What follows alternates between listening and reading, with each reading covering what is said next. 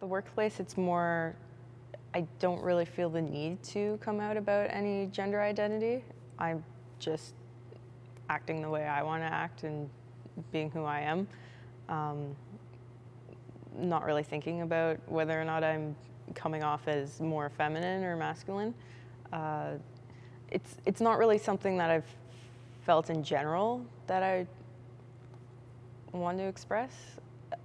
I've actually only opened up about that to honestly just probably only a couple friends and at the safe space at the living room honestly. But that's because it came up in conversation as well and there was other non-binary people there that were going by they